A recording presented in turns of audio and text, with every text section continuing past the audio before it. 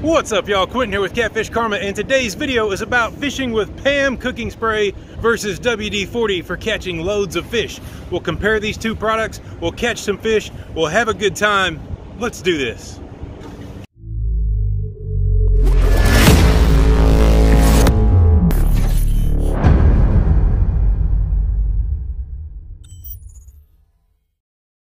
Y'all check it out. As i mentioned in the intro today we are shooting another fishing challenge. It's pam cooking spray versus wd-40 i haven't even got my rod in the water yet and victoria is hooked up on a fish.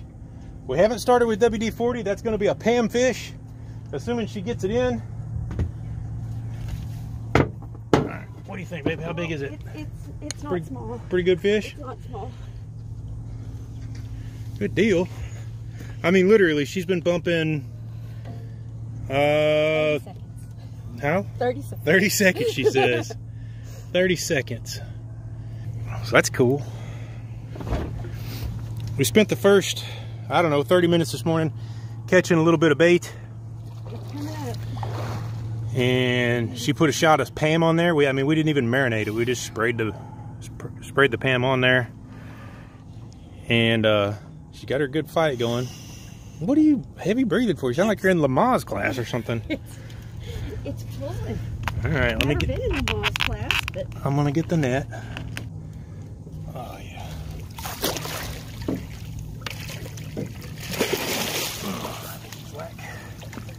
Woo! That's a good way to start the day. No.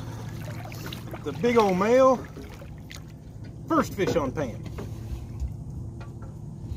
All right, y'all, check it out. We've already removed the hook from this fish. It stayed in the water the whole time. It's got water running over its gills. We're gonna get the scale ready. We've already got the camera ready. We'll be able to weigh this fish before we ever take it out of the net, get a quick picture of it, and get it right back in the water. And that's the way you handle these big catfish, to make the least impact possible. As you can see, I took the handle off the net. That makes it easier to weigh. Victoria wants to see if she can lift this one in here on her own. Probably around 40 or so, I'd say. Good job. Higher, little shorty. All right, we'll get a quick weight on it. Real quick while the fish is still in the net. Victoria guessed 43. I guessed 42. It says just over 44. Net weighs about two to two and a half pounds, so we were both close. All right, babe. Show that fish to him. There you go. Oh, oh, and it's pooing on you. You're gonna smell that all day. Just like that, y'all. First fish of the day on Pam. About 42 pounds. We're gonna get another one and really get going on this fishing challenge. Let her go, babe.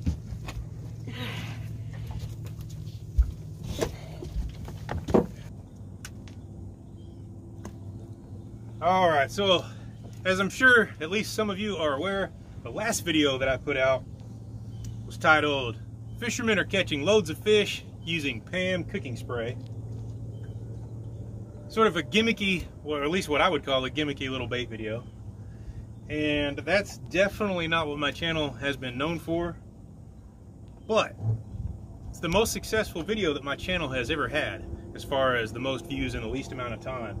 Uh, it's on track to do a million views uh, in pretty short order. And for my channel, that's pretty strong. So when I started getting so many comments about uh, other fish attractants, you know, kind of made me want to answer some of those those comments and those requests. But by far, the most frequent comment uh, or topic of comments that I got was about WD-40.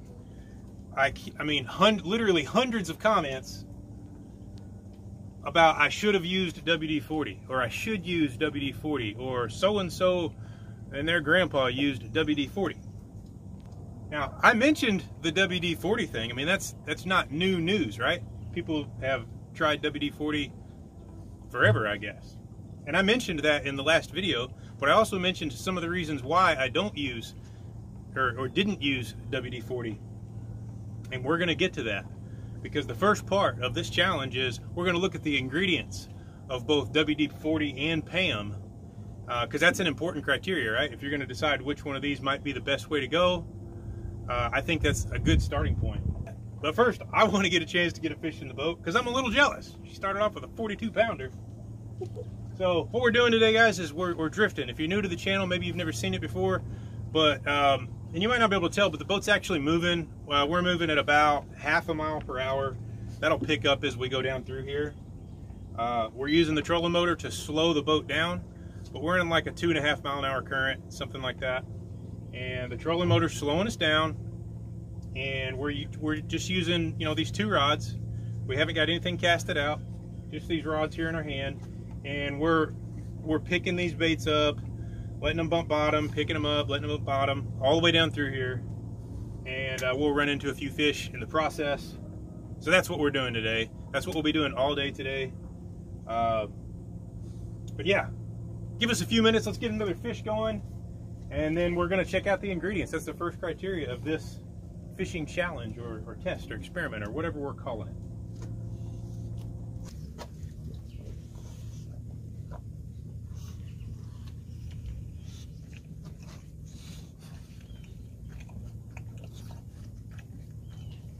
Got one?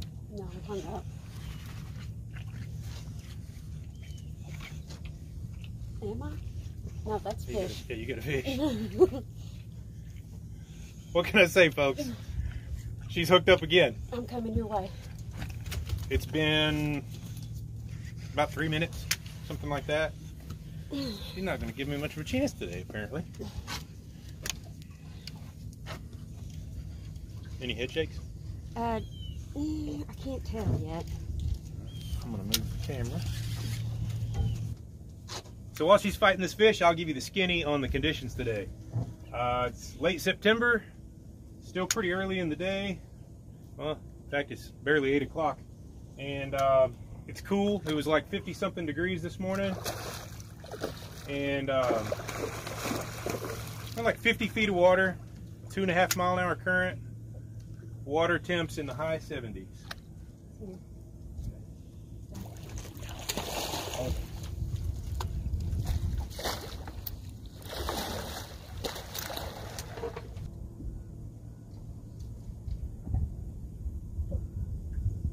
There's a bite right there, fish.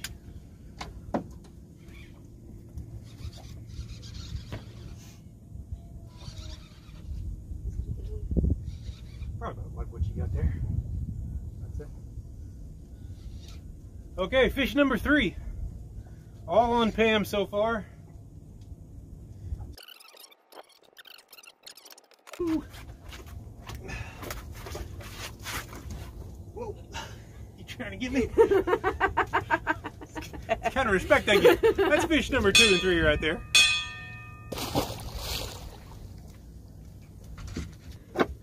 All right, so I told you guys that once we got another fish in the boat, we were gonna really get going on this challenge, and we are. So here we go. We got to start this fishing challenge with the ingredients. And ingredient number one on Pam cooking spray is canola oil. I'm gonna put this on the screen. And I'm sure some of the different flavors of Pam are different, but in this case, canola oil.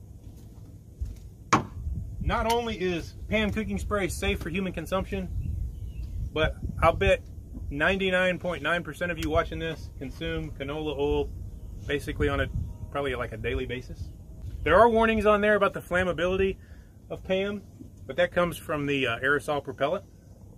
Neither one of us smoke. I've never seen a catfish smoking, so I don't see that being an issue today. In those same flammability warn warnings are on WD-40 because it also has propellant. Although there's a lot more about flammability on this than there is in PAM. But let's talk about ingredient number one here because really I just don't feel right about doing this challenge without knowing what's in both of these. And like I said, I touched on that in the first Fishing with Pam video. Still got hundreds of comments about I should be using WD-40. Hidden in fine print. They don't even give you an ingredients list, but after you get through multiple warnings about harmful or fatal if if you breathe it or if you swallow it. And by multiple, I mean like there's five or six warnings on here about that. Before you get to a part where it says contains petroleum distillates. Now, I don't know exactly what a distillate is, but a quick Google search would tell all of us. But I know it starts with petroleum, and this starts with canola oil. So that, that's ingredient number one on both of those two. And we're going to get to the next ingredients once we catch another fish. All right, so while we're waiting on this next bite, I'm going to touch on a hot topic, so to speak, from the first Fishing with Pam cooking spray video. I had lots of people comment about this. I showed in that first video, just like I did this one, how we were applying the PAM to our baits. And I got a lot of comments saying that the experiment proved nothing because I was spraying the PAM on a bait that catfish already eat. Some people were helpful. They suggested that I spray it on a sponge or spray it on a towel. Some people suggested that I spray it on a tampon. Lots of comments. Some of them helpful. Some of them were just rude. Some of them were just haterade.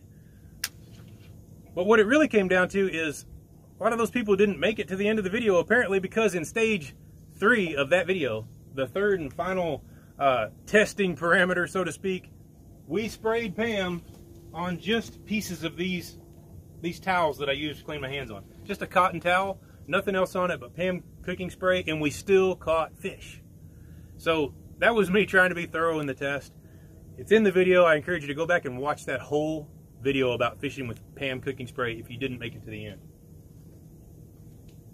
All that said, I'm not suggesting that you got to use Pam cooking spray to catch fish. I mean, there's a reason we spent the time to catch fresh bait this morning.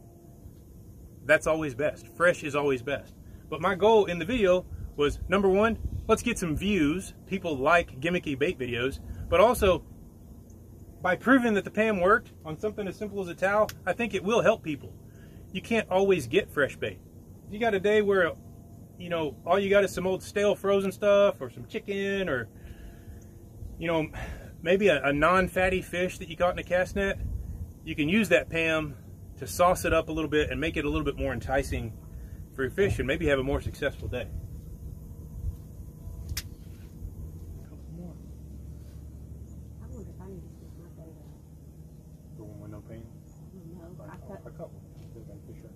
No, that I just have the head. Here we go, y'all.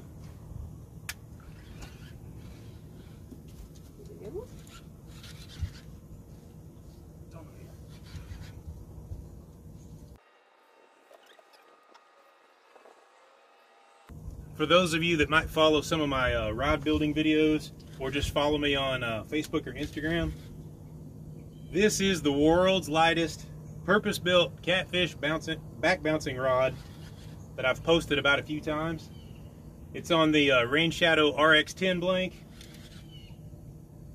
Uh, I believe, I'll have to go back and check, but I think the biggest that I've caught on this so far was uh, 46 to 48 pounds which considering that the blank itself is like 2.4 ounces, uh, that's pretty phenomenal to be able to catch a fish like that. It's the RX-10 blank. It's been pretty awesome so far. I'd have to say it's got the highest power to weight ratio of anything I've ever used.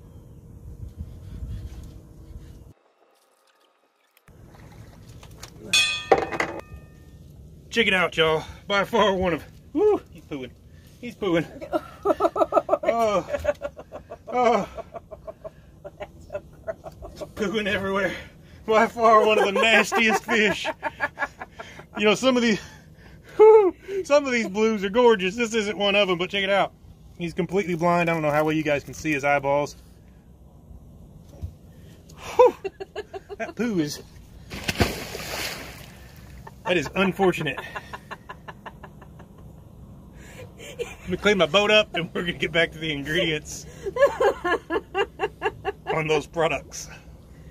Oh shoot. All right, y'all, so we came back up to the top of this drift. We've got our baits in the water and it's time to get deeper into this uh, this challenge here, this ingredients list. So we're gonna look at Pam cooking spray again. I'm gonna give you two ingredients instead of one this time. After canola oil, it's coconut oil, which happens to be good for you, by the way. Uh, after coconut oil, it's palm oil. She said that's also good for you. I couldn't tell you. I don't know if I've ever had it besides in Pam cooking spray. You know what? The heck with it. I'll give you another one. Soy lectin. I don't know exactly what that is, but it's soy. All things that we consume on a daily basis. But when you get back over here to the WD-40 and you get past all the warnings about flammability and uh, dying if you inhale this, of which there are many, get down all the fine print there. Contain, Contains the petroleum distillates that we spoke of earlier. And after that, guess what? Right back to harmful or fatal if swallowed. There are no other ingredients besides petroleum distillates listed on the can. But when I was doing my homework before this video, I got on the internet and I tried to find a more detailed list of ingredients. And I struck out. I even went as far as to uh, look up the MSDS sheet for WD-40. That said, a lot of the people commenting in the first Fishing with Pam cooking spray video kept telling me that WD-40 was made from fish oil. You won't find fish oil listed anywhere on this can. You won't find it listed on the internet. You won't find it listed in the MSDS sheet, at least not the things that I was able to find when I looked it all up. Victoria mentioned earlier, though, that if you want to fish with fish oil, you can buy that. You can buy it for humans and for pets. There again, I'm not saying you have to have Pam to catch fish, but I proved in the first video that not only does it not deter fish, but you can catch a lot of fish on it, and even spraying it on a rag, you can still catch fish. These fish that we're targeting, they're in deep water, they're in stained water, they're not feeding on sight, they're feeding on taste and smell. That trail that's going down through the water that's coming off our baits and coming from that Pam. That said, we're going to put another fish in the boat, and uh, I guess try to wrap up this challenge. All right, y'all, check it out. Since the last time the camera was on, we went about 30 minutes or so with no bites whatsoever. So we made a run down river to get some more bait. Uh, we took some time to let the dogs play on a sandbar. We had a little lunch. And then we made another run down river, but here we are. We're set up on another drift. And uh, we're going to try to finish this video with some action.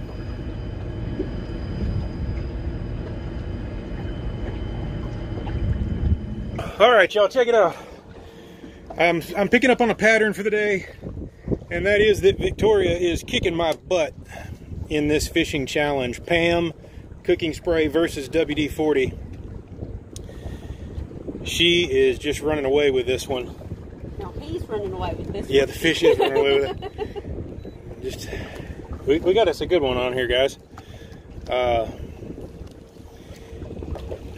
I know you guys tuned in to see Pam versus WD-40, and in a way you are getting to see it because the way we look at it, uh, if all WD-40 has in it is petroleum products, it's not something that we're going to consider a fish attractant. It's not something that we're going to spray on bait and put in the water uh, when we can spray something that's mostly, you know, just just natural oils um, that uh, I think is pretty environmentally friendly. We're certainly not environmentalists. Don't get it twisted, but I don't see a reason to put WD-40 in the water. I think that's six or seven on Pam today. Pam cooking spray for catching loads of catfish. In the first video, fishermen are catching loads of fish on Pam cooking spray. We caught mostly smaller fish. I think we did catch one around 40 or so. But today we're showing that it'll, it'll catch all sizes.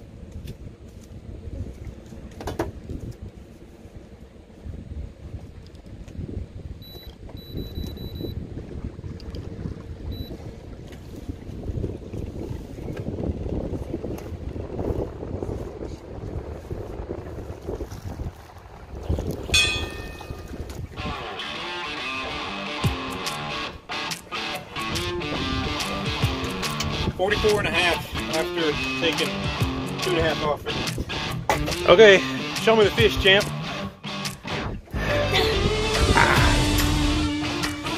There you go, folks.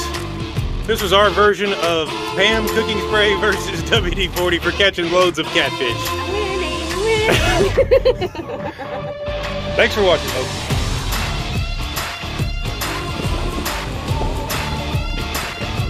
Wake.